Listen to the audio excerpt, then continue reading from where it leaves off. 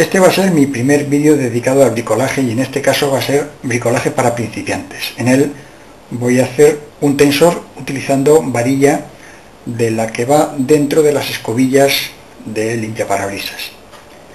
Hay varios tipos de varillas. La primera que encontré fue esta. Es una varilla muy gruesa. Son unos 4 milímetros de ancho y uno de grueso. Si se hacen los tensores con esta varilla, hay que recortarla, porque resulta 4 milímetros resultan excesivos para, para muchas bocallaves. Hay otro, otro grosor de varilla, que es este, que es con el que hice mi último tensor. Me da muy buen resultado, la verdad, estoy muy contento. Son 3 milímetros y el espesor son 3 cuartos de milímetro aproximadamente.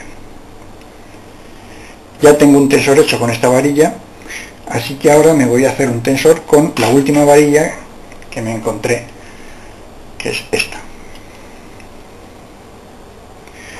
Son menos de 2 milímetros y medio y el grosor unos 3 cuartos también, según por donde se coja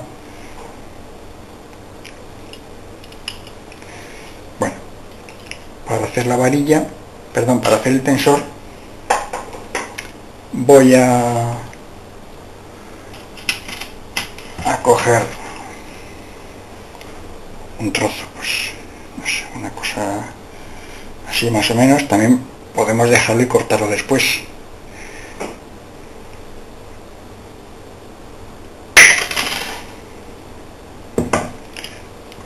Bueno, le voy a repasar un poco corte para que no me arañe.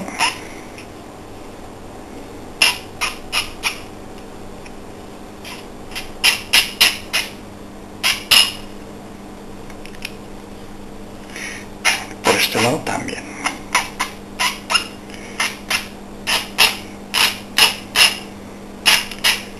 Bueno en el foro por forrillo comentaba que si estos tensores o estas varillas se doblan en ángulo recto tienden a partirse Claro, tiene toda la razón del mundo. Entonces le recomendaron hacer dos giros de 45 grados y entonces ya quedaba bien. Bueno, otra, eh, otra posibilidad es ablandarlo. La manera de ablandarlo es ponerlo al rojo vivo. Para ponerlo al rojo vivo tengo aquí un soplete de los que usan los fontaneros y alguno de vosotros seguro que ya me está maldiciendo, porque no tiene soplete. Bueno, hay suerte, también se puede usar el gas de la cocina. Pero si la cocina es vitrocerámica, entonces no. Como se trata de hacer un, un tutorial para principiantes, pues va a ser totalmente para principiantes. Vamos a ver. Voy a utilizar alcohol de quemar y de limpieza es muy barato.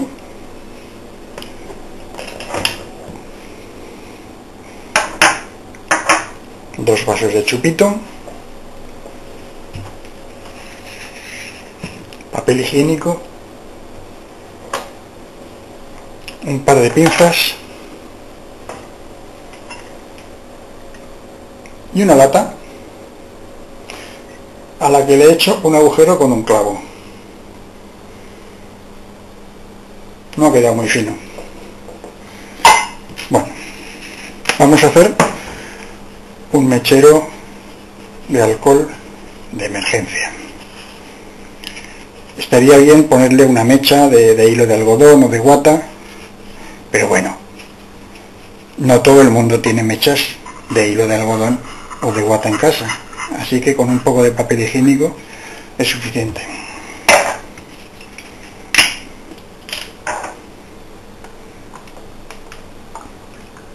En realidad no hace falta tanto alcohol, pero me interesa que el nivel sea alto para que la mecha absorba bien.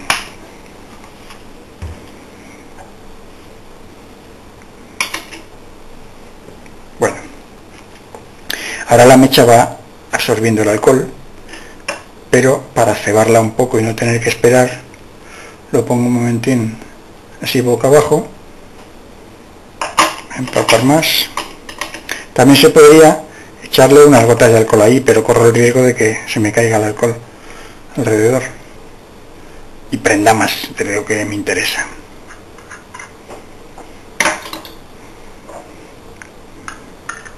Bueno, esto será lo que va a servir para taparlo una vez que hayamos terminado.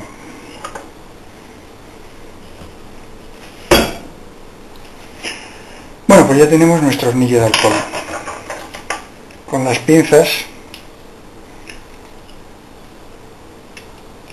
falta de mordaza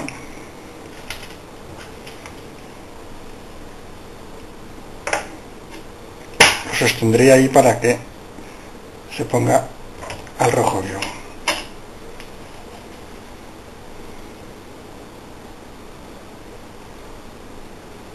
bueno, al calentarse el, hierro pierde su, estructura cristalina las moléculas se reordenan y entonces según el tratamiento que le demos pues cambia su comportamiento. Si os dais cuenta ya está el rojo vivo y si no os dais cuenta os lo digo yo. Bueno pues entonces ahora lo vamos a dejar que se enfríe poco a poco. Al enfriarse despacio el hierro queda blando esta es la razón por la que cuando trabajamos con, con amoladora o con la Dremel no hay que calentarlo en exceso para que no pierda su, su rigidez.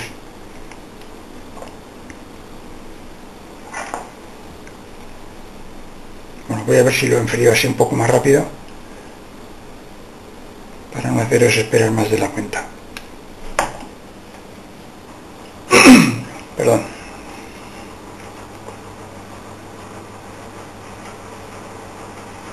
Bueno, no se ha enfriado del todo, pero ya no quema.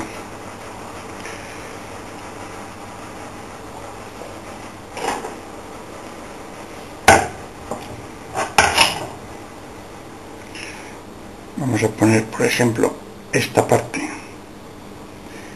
voy a coger por este otro lado esa parte entre en el boca llave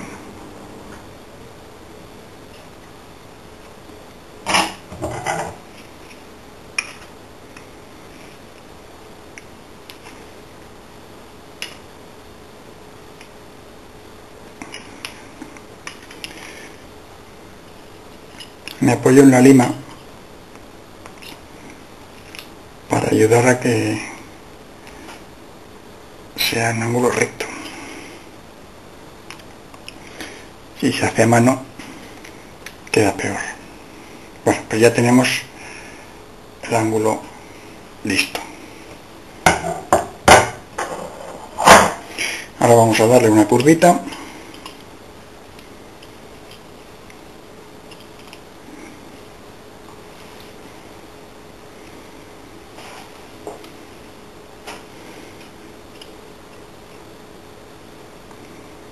Bueno,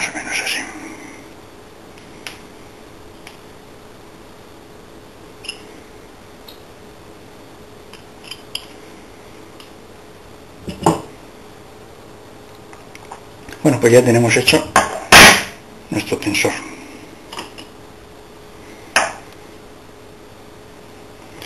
Ahora lo vamos a volver a calentar al rojo vivo.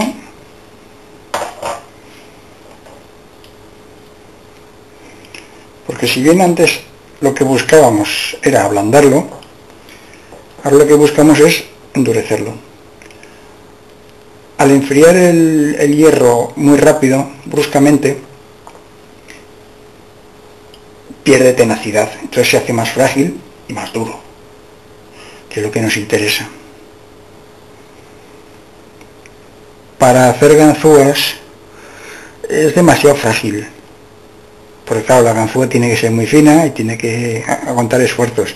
Entonces después habría que hacerle un revenido. Pero para un tensor así nos irá de maravilla. Bueno, ya está, ya está el rojo vivo. Pues ahora enfriamiento brusco y ya hemos terminado con nuestro eh, mechero de alcohol.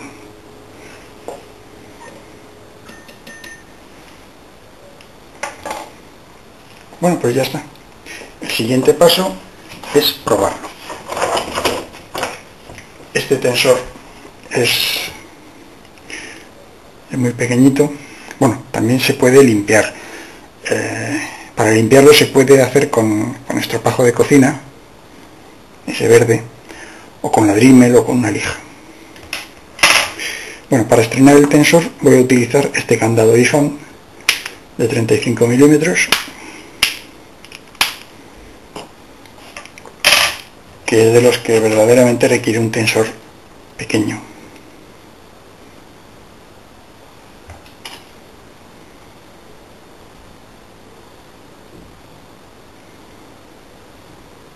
Tiene cuatro pernos. Ahí se coloca el cuarto. Segundo.